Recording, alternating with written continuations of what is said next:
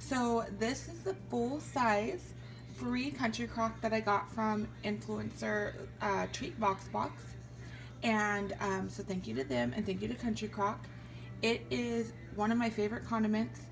I use it on pretty much everything that I would normally use butter for. I cook with it, I bake with it, um, and it uses, it works really well with baking because sometimes um, some substitutes don't, but this one does.